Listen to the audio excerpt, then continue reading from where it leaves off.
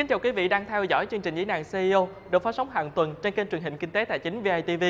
Thưa quý vị, trong mỗi người chúng ta luôn tồn tại một sức mạnh, đó chính là sức mạnh của niềm tin. Niềm tin vào bản thân của chính mình sẽ giúp chúng ta vượt qua những thử thách và đạt đến thành công. Câu chuyện của chương trình Diễn đàn CEO tuần này là về một sức mạnh của niềm tin như thế. Chị Tô Thị Diễm Quyên, người sáng lập và điều hành công ty tư vấn phát triển giáo dục Inedu. Quý vị đang theo dõi chương trình Diễn đàn CEO được phát sóng hàng tuần trên kênh truyền hình Kinh tế Tài chính VITV và tôi là Hoàng Phi.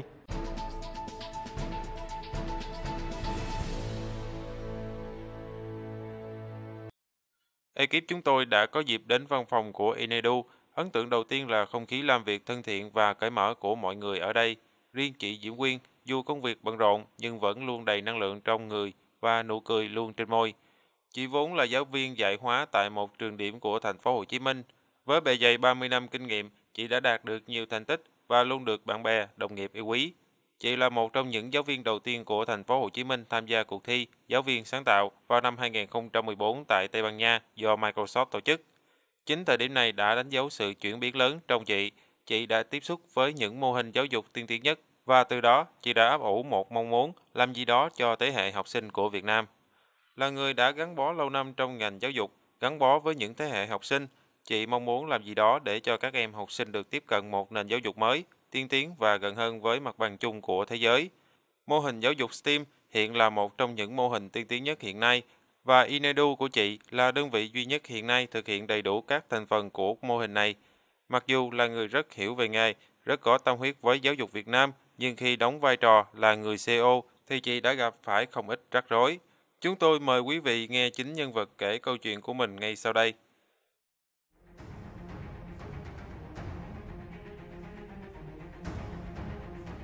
Xin được giới thiệu với tất cả quý vị khách mời của chương trình ngày hôm nay, chị Diễm Quyên, người sáng lập và điều hành Inenu. Chào bạn Hoàng Phi, kính chào quý vị khán giả. À, thưa chị, có lẽ bây giờ chúng ta sẽ bắt đầu câu chuyện ngày hôm nay. À, sau khi tìm hiểu một vài thông tin về à, chị cũng như là doanh nghiệp của mình, thì tôi rất tò mò về doanh nghiệp của mình và chị có thể chia sẻ thêm một vài điều về Inedu là như thế nào ạ? Um, Inedu là chữ viết tắt và ghép của chữ ờ, innovation là sáng tạo và education là giáo dục, có nghĩa là giáo dục sáng tạo. Thì ờ, đó cũng là một cách chơi chữ bởi vì in nó giống như là ở trong ở trong một cái nhà gì đấy thì ở trong cái uh, giáo dục. Và chúng tôi kỳ vọng rằng là cái doanh nghiệp của chúng tôi mở ra nó kết nối với tất cả những doanh nghiệp khác kinh doanh về giáo dục nhưng nó là giáo dục đích thực và nó định hướng cho giáo dục. Chị Quyên là một giáo viên và hiện tại đã trở thành CEO rồi. Vậy thì cái lý do, cái động cơ nào mà chị vừa là giáo viên mà cũng quyết định là mình trở thành một CEO của một doanh nghiệp như thế này ạ? À, mọi chuyện nó tự diễn tiến thôi chứ tôi cũng không cố tình là trở thành một CEO gì cả thì um, xuất phát là từ năm 2013 tôi uh, được giải nhất quốc gia uh, của Bộ Giáo dục và sau đó thì tôi được Microsoft lựa chọn là đại diện Việt Nam để tham dự diễn đàn toàn cầu và chính từ cái thời điểm đó thì khi bước chân đến Tây Ban Nha để tham dự diễn đàn toàn cầu và cuộc đời tôi bắt đầu mở ra từ đó, nghĩa là giống như mình bước ra, bước qua khỏi một cái cầu đến một cái thế giới khác. Và khi tiếp cận với tất cả những cái giáo dục hiện đại, với những thầy cô giáo trên thế giới, thì tôi thấy rằng là Việt Nam chúng ta vẫn có thể là trong một thời gian rất ngắn, rất nhanh, chúng ta có thể bắt kịp được với thế giới. Với một cái vai trò mới như thế này, thì nó có những khó khăn như thế nào ạ? Trong quá trình mà à, tôi thực hiện à, để mà xây dựng Inedu thì có rất nhiều những cái thuận lợi. Thuận lợi nó đến từ việc là suốt 3 năm vừa qua thì tôi đã đi từ Bắc chí Nam, đi rất nhiều sở giáo dục đào tạo, rất nhiều trường và để đào tạo cho giáo viên. Cho nên tôi rất hiểu về giáo dục và có rất nhiều mối quan hệ tốt trong trong cộng đồng giáo dục. Thì ờ, Hoàng Phi có biết không? Trong 3 năm tôi đã tập huấn 20.000 giáo viên. Cái con số này có thể nói là chắc là nhiều nhất Việt Nam. Dạ và do hiểu nhiều về giáo dục như vậy, cho nên tôi biết rằng là tôi cần phải làm gì. Và cái ờ, đó là những cái thuận lợi của tôi. Và tôi đi đến bất kỳ nơi nào cũng được chào đón rất là đàng hoàng, rất là nồng nhiệt. Bởi vì tôi đã từng đến đó với, gặp họ với một cái vai trò khác. Và bây giờ tôi đến với một cái vai trò khác. Nhưng song song với những cái thuận lợi đó đó, thì tôi cũng gặp những cái khó khăn. Phải nói là rất là khủng khiếp. Bởi vì tôi chỉ là một giáo viên và tôi chưa từng bao giờ được đào tạo để trở thành một CEO cả như vậy thì cụ thể những cái khó khăn như thế nào chị có thể chia sẻ với ờ, chúng tôi được không ạ? Um, cái khó khăn đầu tiên đó là tôi không có chuyên môn về lãnh đạo và quản lý. Và tôi đào tôi tôi tôi lãnh đạo và tôi quản lý mọi người tất cả bằng bản năng của mình. Và tôi tự đặt mình vào vị trí của những người lao động để tôi nghĩ rằng là tôi mong muốn được điều gì thì tôi sẽ làm điều đó cho những người xung quanh mình. Cho nên là ở Inedu nó có một cái văn hóa rất là đặc biệt đó là không có thứ tự không có trên dưới lắm đâu. À, khi mà các bạn ờ, làm những cái công việc bằng chân tay tôi cũng làm cùng với các bạn. Rồi khi tôi cần sáng tạo thì thậm chí là những bạn làm về kế toán bạn làm về thủ quỹ bạn cũng được mời họp như mọi người. Bởi vì bạn sẽ có những cái góc nhìn của người sử dụng người sử dụng sản phẩm để mà bạn góp ý với chúng tôi. À, trong những cái tháng đầu tiên mà tôi mở Inidu ra thì Hoàng Phi có biết là tôi phải làm việc từ 6 giờ sáng 6 giờ sáng tôi có mặt ở công ty và tôi ra khỏi công ty lúc 11 giờ đêm. Và cũng rất may là nhà tôi rất là gần ở đây cho nên là tôi nhận được sự thông cảm từ gia đình. Và có những người vâng, những người mà làm việc cùng với tôi á, là hai tháng liền họ không có lương luôn. Họ không nhận lương luôn và thậm chí họ về họ lấy tiền tích lũy của họ để họ cho tôi mượn. Đó là những cái khó khăn trở ngại ban đầu và vì vậy tôi không còn thời gian để tôi quan tâm ai nghĩ gì và nói gì về mình cả. Tôi chỉ biết là tôi làm sao để mà cái sản phẩm của tôi là tốt nhất là hiệu quả nhất bằng tất cả sức lực của tất cả anh em trong ờ, Inedu chúng tôi cùng tạo ra. Ban đầu thì tôi cũng có một vài người đồng hành. Những người đó là những người đề nghị là góp vốn với tôi.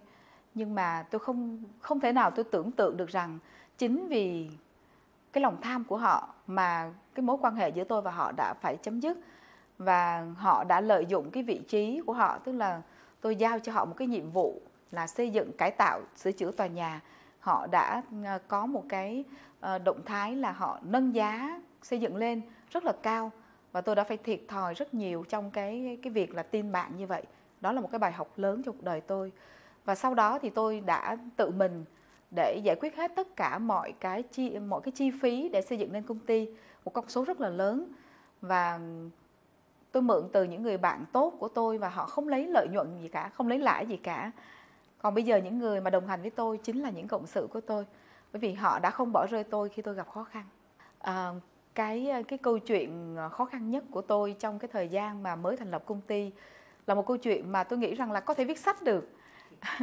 Đó là có một đối tác à, người đó là người cung cấp à, những con robot này cho tôi này. Thì à, anh ta đến và anh ta đề nghị là giúp đỡ vì thấy là có một người phụ nữ chỉ là giáo viên bình thường mà quản trị một cái công ty lớn rồi một cái tòa nhà lớn như vậy và rất nhiều đối tác lớn như vậy thì ờ, anh ta có đề nghị là à, giúp đỡ. Thì tôi đồng ý cho anh ta giúp đỡ bởi vì thấy có người giúp thì mình đồng ý ngay. Và sau đó thì bước tiếp theo là không biết bằng cách nào đó anh ta đã tác động đến tất cả nhân viên của công ty để làm cho mọi người tin rằng chỉ có anh ta mới có thể điều hành được công ty còn tôi không có năng lực điều hành công ty. Và đỉnh điểm của nó là khi mà tôi gọi điện thoại cho cho các nhân viên của mình thậm chí họ không nhấc máy. Họ chỉ biết anh chàng kia không cần biết tôi nữa. Rồi sau đó đến cái bước tiếp theo thì anh ta có những cái bước đề nghị tôi là phải chuyển giao toàn bộ cho anh ta kể cả việc là được quyền quyết định là ký hợp đồng với ai chi tiêu như thế nào vân vân. Thì uh, không hiểu là là do cái bản năng hay là do cái tiềm thức hay là do một cái điều gì đó tâm linh chẳng hạn, thì trong trong một đêm tôi ngủ tôi nằm mơ thấy là cái bước 4 của anh ta, đó là anh ta sẽ tạo ra những cái tình huống, những cái dự án mà làm cho tôi phải phá sản. Tức là những cái dự án mà tôi phải nợ rất nhiều để từ đó là tôi phải bán công ty lại không đồng. Cho anh ta để anh ta trả nợ thay cho tôi. Và khi tôi nằm mơ thấy giấc mơ đó thì tôi giật mình tỉnh dậy.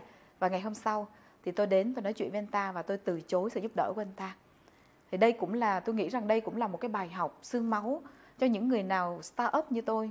Để khi mà họ làm việc với các đối tác thì phải luôn luôn tỉnh táo không bao giờ để cho người khác can thiệp quá sâu vào trong công việc nội bộ của mình. Trong những ngày à, trong những ngày mà cái người đó họ can thiệp vào công ty của tôi á, nó chỉ là nửa tháng thôi. Nhưng mà khi mỗi khi tôi nhớ lại tôi vẫn phải còn phải rùng mình. Nó dài giống như là bao nhiêu năm trời vậy bởi vì tất cả những cái khổ sở vất vả của tôi nó không có khủng khiếp bằng cái thời gian đó. Bởi vì tất cả những người trong công ty đều quay lưng lại với tôi họ coi tôi giống như vô hình vậy. Và tôi nghĩ rằng chưa một CEO nào mà trải nghiệm có một cái trải nghiệm khủng khiếp như vậy. Mình nói không ai nghe nữa. Mình đang trả lương cho họ nhưng mình nói không ai nghe nữa. Và thậm chí là cái người cái người đó đó họ hứa hẹn với uh, những cái người mà trong công ty tôi là những cái người mà chuyên gia hàng đầu tôi á là cho người này bao nhiêu phần trăm cổ phần cho người kia bao nhiêu phần trăm cổ phần. Xong rồi anh ta đến anh ta nói với tôi rằng là nếu không cho như vậy thì tất cả họ sẽ nghỉ việc hết. Và anh ta nói rằng là nếu anh ta không được làm CEO thì tất cả những người kia cũng nghỉ việc hết. Nghĩa là anh ta ép tôi đến một cái đường đường cùng là phải chuyển giao toàn bộ quyền lực cho anh ta. Và uh, trong cái những cái lúc mà khó khăn như vậy thì cái việc mà tôi cần làm đầu tiên đó là tôi giữ vững giữ vững cái niềm tin của các cộng sự của mình và cái việc thứ hai là tôi làm sao để giải quyết được cái bài toán về tài chính. Bởi vì ban nãy tôi cũng có chia sẻ với Hoàng Phi là tôi không hề có một kinh nghiệm gì hết về CEO cho nên là cái vấp ngã lớn nhất của tôi là doanh thu rất lớn, nhưng mà lợi nhuận thì rất thấp. Bởi vì cái chi tiêu của chúng tôi rất lớn. Cái gì tôi cũng mua, cái gì tôi cũng muốn mua để cho nó hoàn hảo. Và tôi không biết, tôi không biết cách để mà lên một cái plan về tài chính và chính nhờ những cái trải nghiệm mà vấp va vấp đó cho nên là tôi bắt đầu tự rút ra kinh nghiệm và tự học.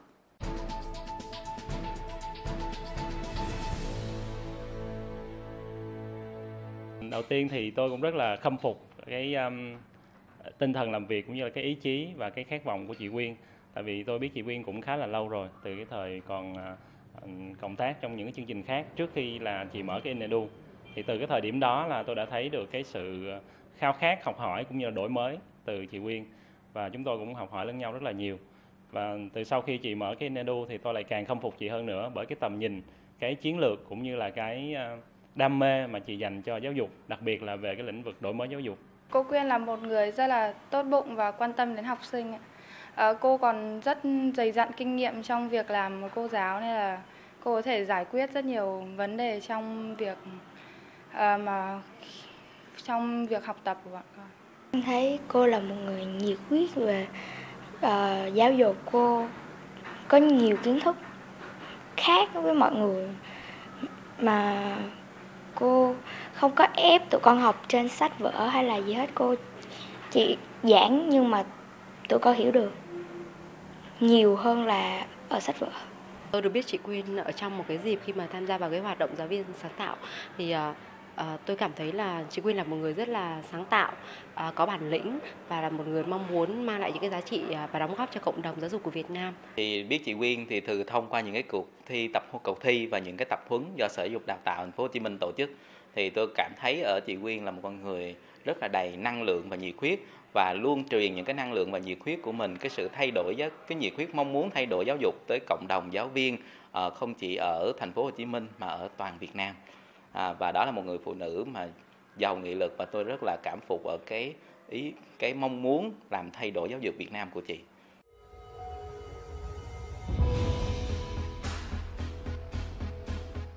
Hoàng Phi xin mời tất cả quý vị chúng ta sẽ trở lại với cuộc trò chuyện ngày hôm nay.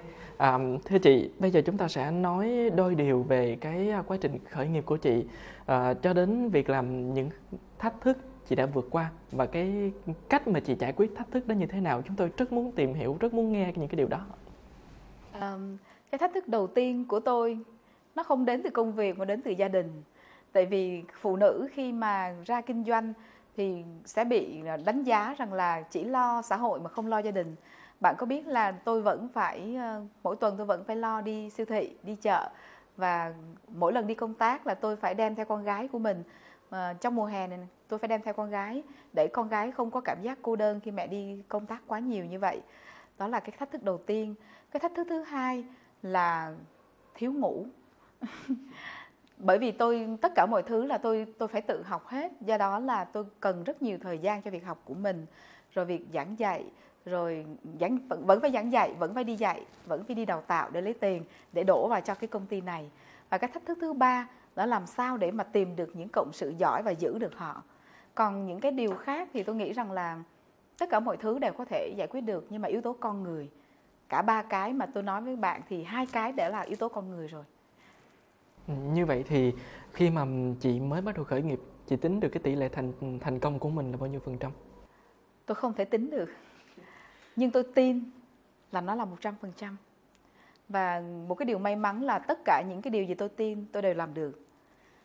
À, bắt đầu từ khi tôi là một giáo viên hóa cấp 2 bình thường tôi thấy à, có một người là người ta đi dạy đi đào tạo mà người ta được trả một triệu đồng một ngày.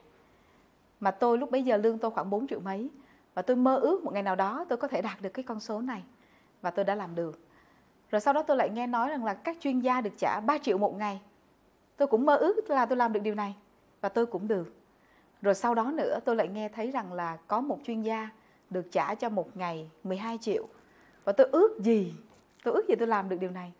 Mà tôi không ngờ rằng là tôi làm được hơn thế. Tôi đã được trả một cái con số gấp 10 lần gấp 10 lần cái con số tôi mơ ước. Và có thể nói là uh, trong cái lĩnh vực giáo dục đào tạo về giáo dục thì hiện nay ở thị trường tôi là người được trả cao nhất. Thì tôi xin phép được kể một chút về cái lý do mà cái động lực thay đổi giáo dục của tôi nó mạnh mẽ như vậy. Là năm con trai lớn của tôi học lớp 1 thì tôi đi họp phụ huynh cho cho cháu. Thì tôi được xếp ngồi vào cái bàn mà cháu ngồi trong lớp. Tôi nhìn thấy một cái bức vẽ, cháu vẽ ở trên bàn của cháu. Cháu vẽ rất đẹp. Nó vẽ một cái cây cổ thụ. Thì cháu có hai đứa em, một đứa em trai, đứa em gái. Dưới gốc cây cổ thụ là một thằng bé trai đang đọc sách. Nhìn rất dễ thương, rất chăm chú chăm chú à, bên cạnh đó thì vẽ một đứa bé gái đang ngồi trên xích đu bay bay nhìn rất bình yên rất là dễ thương đúng tính cách của em gái luôn. Còn bên này thì thằng thằng con trai lớn của tôi nó vẽ nó. Bạn Hoàng Phi có thể đoán được là nó vẽ cái gì không ạ? Nó vẽ nó đang làm gì ạ? Tôi đang nghĩ nó sẽ đứng nhìn hai đứa nó vẽ một đứa bé thắt cổ tự tử. Chị có tìm hiểu lý do vì sao hay không? Bởi vì trường học đối với nó là một cái điều rất là khủng khiếp à, tôi không cho con học trước khi vào lớp 1 cho nên là khi vào lớp 1 thì tất cả những đứa trẻ khác đều biết viết nó viết dặn dò được rồi. Nhưng mà con tôi không viết được. Và cô giáo lớp 1 của cháu bảo rằng cháu bị mất căn bản.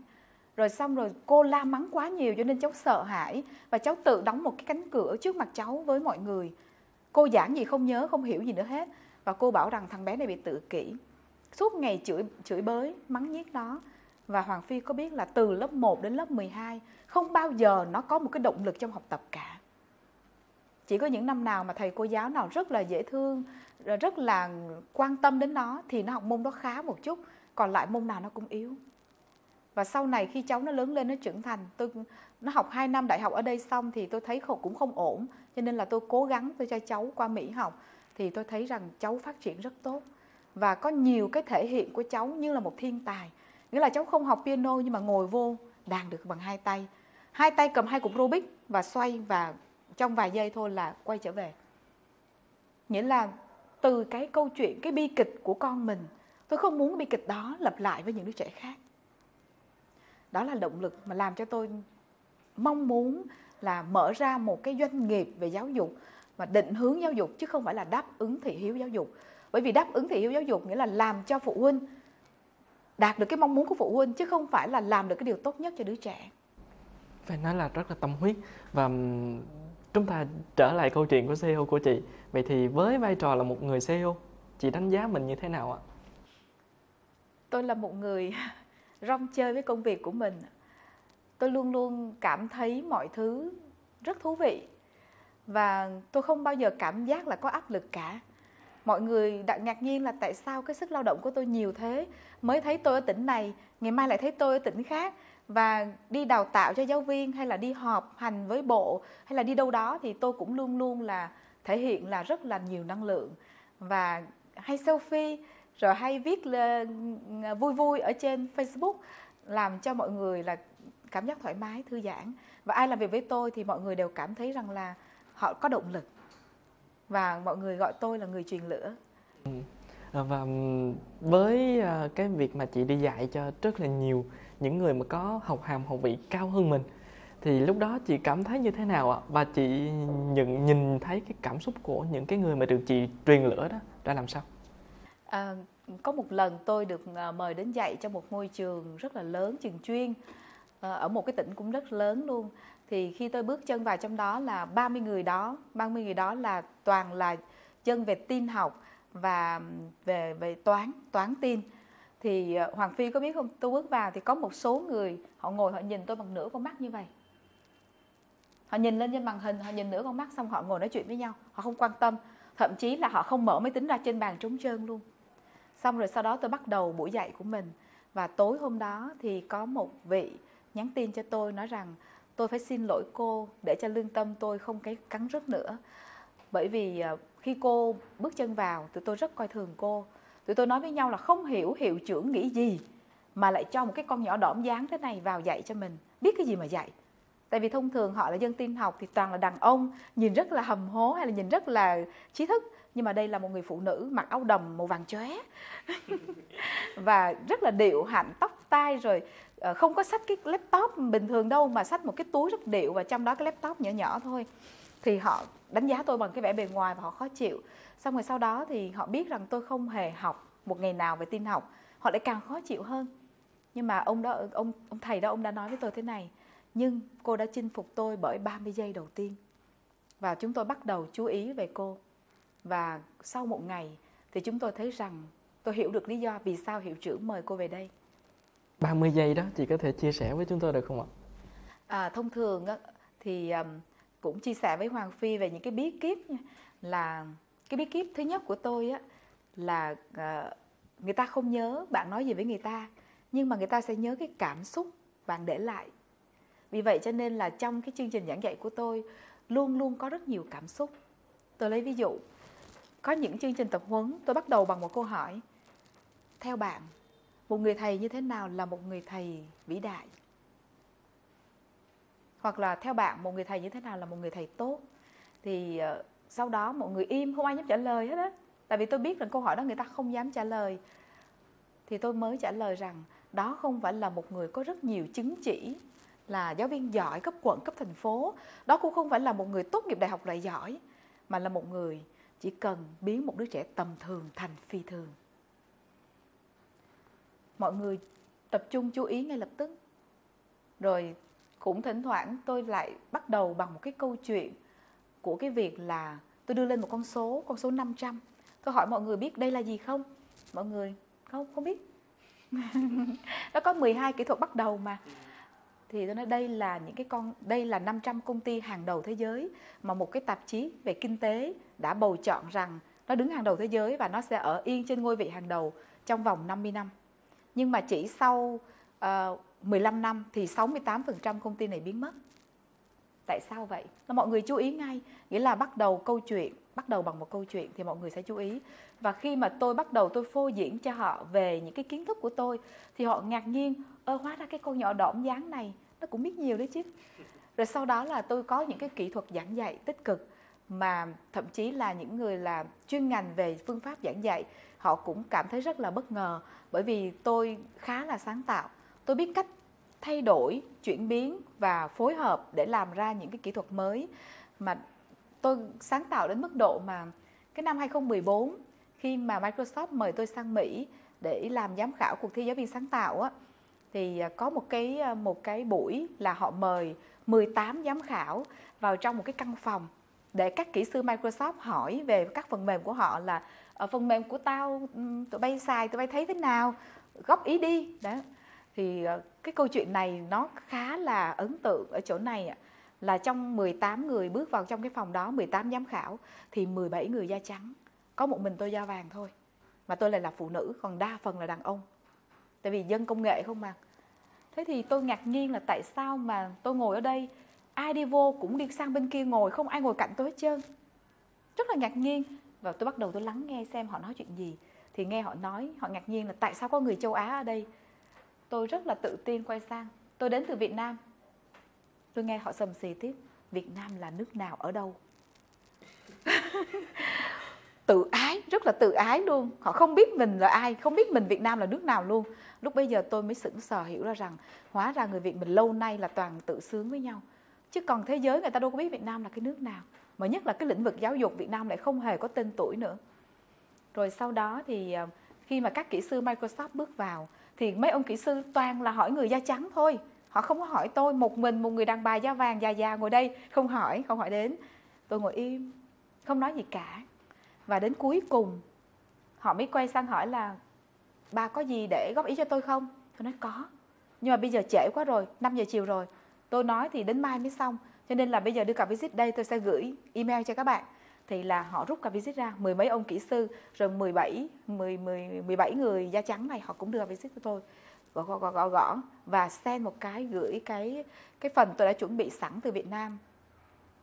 Thì mấy ông kỹ sư này ông đang cầm uh, surface à, máy tính bảng này kia. Ông mở mail ra ông nhìn thấy biến sắc mặt ngay lập tức. Ông lùi lại ông nhìn. Và mấy ông quay sang và thảo luận với nhau thảo luận với nhau xong rồi ông ra ông ngồi cạnh tôi thì người người nước ngoài họ có cái cách ngồi cạnh hay lắm, tức là giống như họ quỳ cạnh mình vậy đó. Và hỏi là, theo mày thì cái này ta nên làm thế nào? Tôi bắt đầu tôi mới nói là, một cái máy tính tốt, một cái ừ, sử dụng một cái máy tính mà hiệu quả thì nó gồm có ba ba yếu tố. Yếu tố thứ nhất là tìm kiếm thông tin, yếu tố thứ hai là xử lý, sắp xếp văn bản và thông tin, và yếu tố thứ ba là chia sẻ thông tin. Thế thì giờ cái phần mềm OneNote này của mày nè, là cái tìm kiếm nó không có tao muốn tìm cái gì là tao phải đóng lại tao chạy ra ngoài mở Google lên để tìm hoặc là Bing Bing để tìm hoặc là Google để tìm. Mất công quá. Vì tao thích tìm tại chỗ luôn được không? Xong rồi ok ok. Theo mày thì nên để chỗ nào? Tôi mới chỉ cái chỗ mà phù hợp trong cái phần mềm đó. Xong nó nói nhưng mà tao còn một ý kiến nữa tao chưa viết vào đây. Đó là khi mà tao dán đường link YouTube vào trong google, file Word hoặc là trong file trong OneNote á, thì nó ra một cái dãy ký tự dài và không hiểu nó là cái gì bây giờ tao thích là nó ra một cái hình, được không? Để mà nhìn vô biết video đó là gì, được không? Ok ok.